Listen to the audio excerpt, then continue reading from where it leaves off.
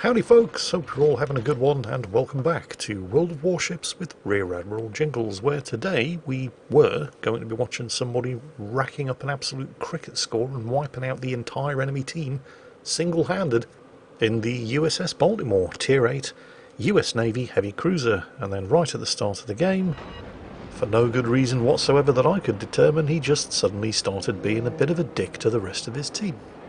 Like this. So I stopped recording, and sadly we'll never get to see the rest of this battle. Instead, I'd like to introduce you to Malika 8 in this Tier 8 standard battle, here on the north map, in the Russian Tier 8 destroyer, the Kiev. I keep wanting to say USS Kiev there for some reason. I just, just managed to catch myself in time, and then went and admitted to it. Oh my god. Ah, what's wrong with me? Anyway, yeah.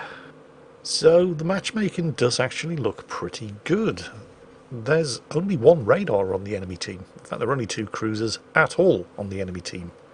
It's mostly all battleships on both teams here.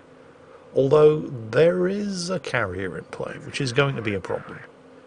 Then again, the fact that the enemy team do have a radar doesn't really matter to Malika since he is in the Kiev and he has swapped out his smokescreen consumable for the repair party consumable, something that you can do with Russian destroyers starting here at T8 in the Kiev. So I suppose the fact that there's a carrier in play doesn't really matter either since he's not going to be relying on his stealth, something that the Kiev doesn't really have anyway. Yes, it's one of those Russian destroyers with an absolutely terrible stealth rating.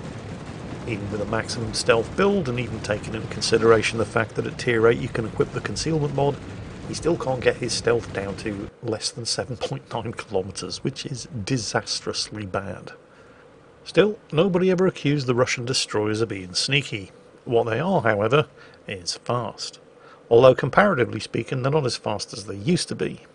I mean, they are still exactly as fast as they used to be, but comparatively speaking, they're no longer the raw speed demons of World of Warships because the French happened it was quite a sad day for fans of the Russian destroyers when the French destroyer line was introduced because they basically take everything that makes the Russians Russian and then makes them even more Russian and calls it French. Bigger guns, faster ships, worse stealth, better torpedoes. I think it's fairly safe to say that the Russian destroyers have been quite spectacularly power creeped, but that doesn't make them bad ships. It just means they're not quite as good as the French, who do everything that the Russians do, except just that little bit better. Speaking of bad torpedoes, the Kiev is the first Russian destroyer that gets torpedoes that are technically capable of being stealth launched. You just tend to not stay stealth for too long after you've launched them because the stealth firing window is so incredibly small. By default, the torpedoes that you first get on the Kiev have your standard, absolutely suicidal 4 kilometer Russian torpedo range, but you can upgrade to 8 kilometers. Well, I say upgrade to 8 kilometers, it's not actually that much of an upgrade because in order to get twice the range, you have to give up around about 3000 damage and 10 knots of speed. Yep, these are amongst the slowest torpedoes in the game. And yet, despite the fact that these torpedoes take so long to get there that you've got time to brush your hair and clean your teeth getting ready for their arrival, they were spotted well in advance and they took forever to actually reach the target. They managed to hit something. Not what they were aimed at, but they hit something twice. That's pretty impressive. I'm not saying that that's impressive for Malika. I mean, he basically just launched them, crossed his fingers, and hoped for the best. But it's pretty impressive that despite all of the advance warning that the enemy team had up there, somebody still managed to eat two of those torpedoes. That's impressive. At this point in the battle, a couple of things may be becoming apparent. Most of the enemy team are up there. Most of Malika's team are at the other end of the map, heading in the other direction. This probably should not come as a huge surprise to most of you. Aside from Malika and the Friendly Lightning, there isn't really anybody else contesting this flank. The team's two cruisers, the Graf Spee and the York, are sort of over at this end of the map, but the York appears to be doing his level best, judging by what's been going on in chat, to just get in the Graf Spee's way. The Graf Spee has very wisely realised that he needs to get some distance between himself and the enemy juggernaut approaching from the north, The York is trying to sail through the Graf Spee in order to, well, I'm not entirely sure what it is that he thinks he's going to achieve, but it's probably not going to be much. Now, while I don't want to be too critical of the York here, because, you know, on the one hand, it's good that he realises that Malika and the Lightning do require some kind of assistance over here, otherwise their base is going to be overrun, but there's ways of doing it, and it certainly doesn't involve driving a rather thinly armoured heavy cruiser straight into that lot. Malika busy trying to fight a delaying action here. I mean, both of the destroyers over here are fleeing headlong from that mass of enemy ships. But the York... he's like, don't worry guys, I've got this. I'm pretty sure he doesn't. I mean, the Lightning has taken a fearful battering. Malika's lost a fair amount of health too, and he's used one of his heals. The Lightning has gone dark, and he's simply relying on his torpedoes, which is the smart thing to do. Malika is using whatever cover is available, but, well, his biggest strength is his guns, not his torpedoes, so he's keeping as much distance as he can and trying to set fires wherever he can while going for the most vulnerable enemy targets. The York in this situation is basically going to be the biggest, most obvious and easiest to sink target for all those enemy ships heading south. The only logical explanation I can come up with for why that York insists on driving as close toward that enemy battle group as he has and giving as much broadside to that enemy battle group as he is, is because he wants to use his torpedoes. I mean, he's armed with guns, 210mm guns, by the way, very big guns by cruiser standards, that have a 17.3 kilometre range. He's armed with torpedoes that have a 6 kilometre range, so naturally... naturally, he's sailed into suicide range and paid the price. The York is dead. And that just leaves Malika and that Lightning, as well as the carrier, defending this entire flank because the entire rest of his team are all busy trying to find and kill an Ognevoi on the other end of the map.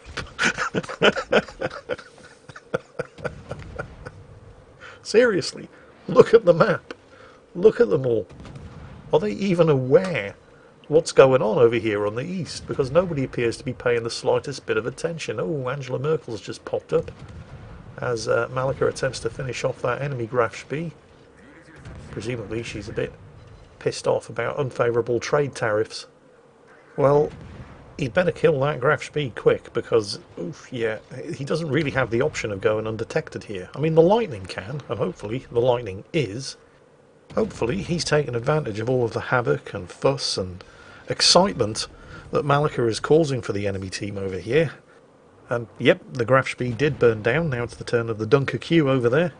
But hopefully the Lightning is using the distraction that Malika is causing here to work those torpedo launchers between smokescreen cooldowns because he has the option of sitting inside a smokescreen and just blazing away. Malika, of course, does not have that option.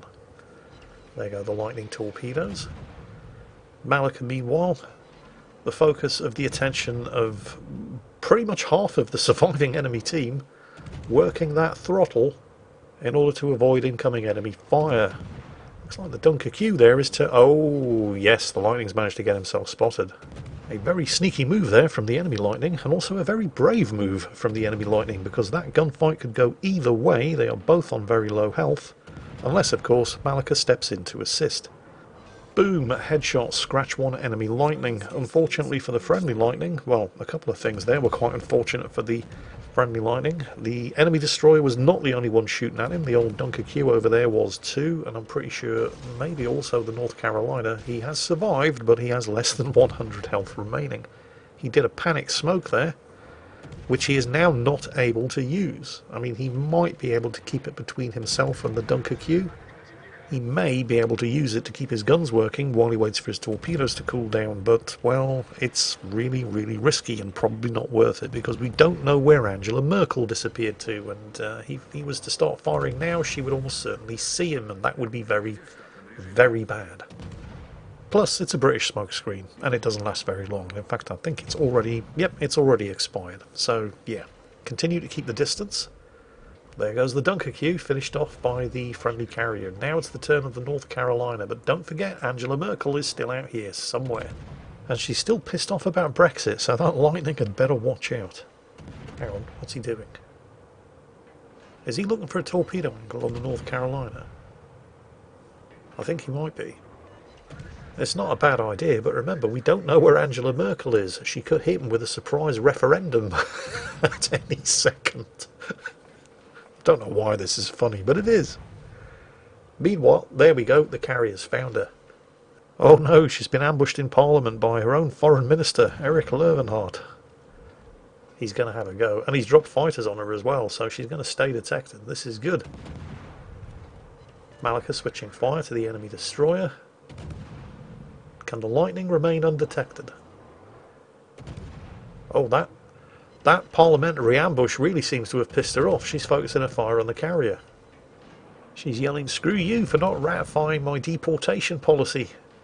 Of course, the fact that she is shooting at the carrier is not really the carrier's biggest problem, although it's not an insignificant problem, it's the fact that she was spotting the carrier for the North Carolina.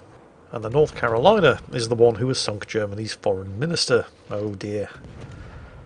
The North Carolina, by the way, is also threatening to flip the cap. And I believe the Lightning is too close. Meanwhile, Malika working Angela over over there. She's popped her smoke trying to slow down and go undetected. Her enraged erstwhile foreign minister is busy, well, giving her the good news with his surviving aircraft. She has managed to go undetected, but Malika's got some torpedoes on the way.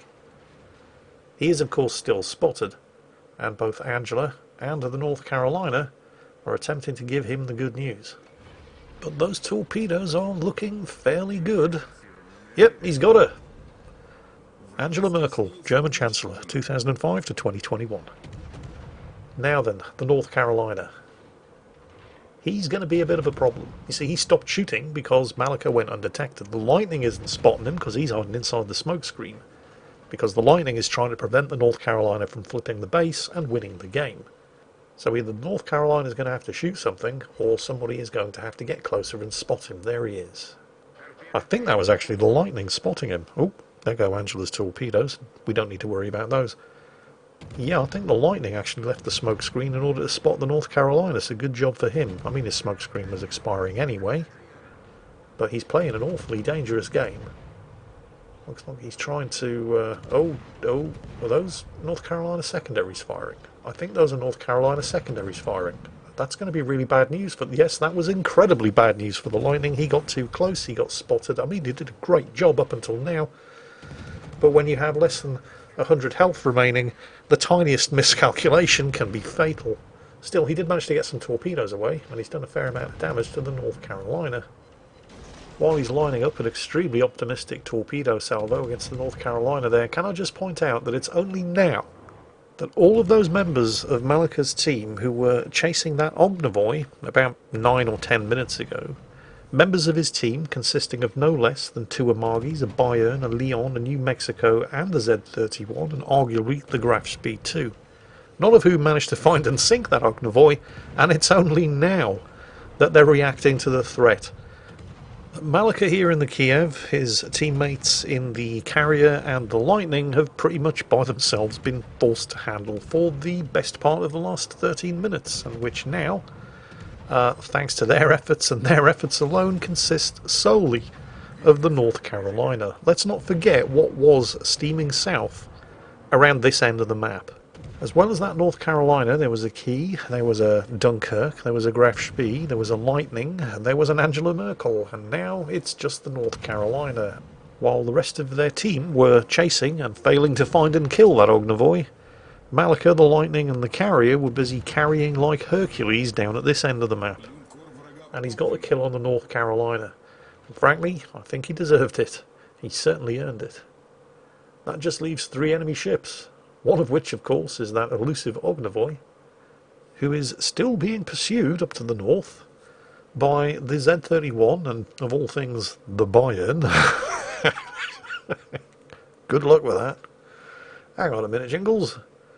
I thought you said that Russian destroyers weren't very stealthy. Well, they're not. so the fact that the Ognevoi has managed to evade detection for this long means he's either amazing or he hasn't been doing an awful lot of shooting. I suspect it's probably the latter, although it could be the former, who knows, who am I to judge? Oh, he has been detected. There he is. They started chasing after him about 13 minutes ago. Do you think they can finally kill him?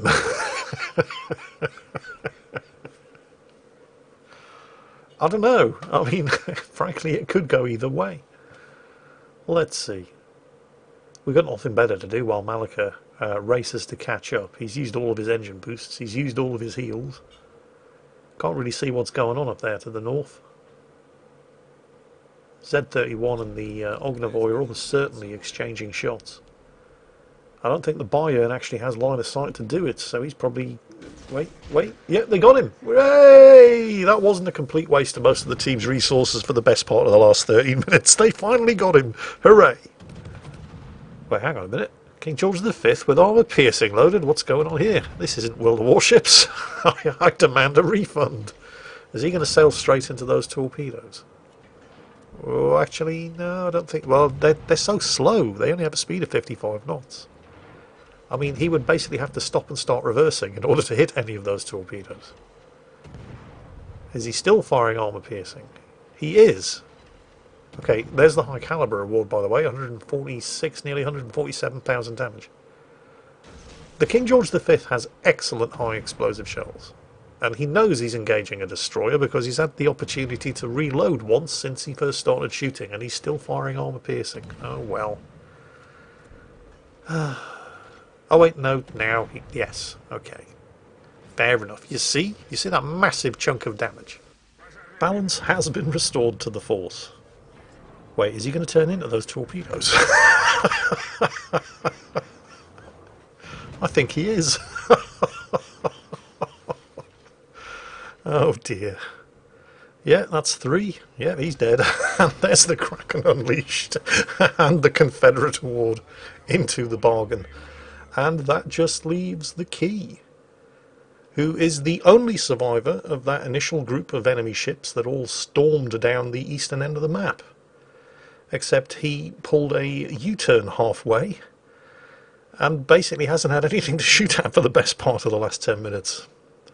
Well, he's going to have plenty to shoot at in a moment. In fact, he's even going to get shot at by the New Mexico, despite the fact that he spent this entire game sort of dithering around in the bottom southwestern end of the map. Um, possibly also tried to chase after the Ognevoi earlier, along with the rest of the team. Although it's difficult to say because that thing is so slow, it's not easy to tell when it's actually moving just by looking at the minimap.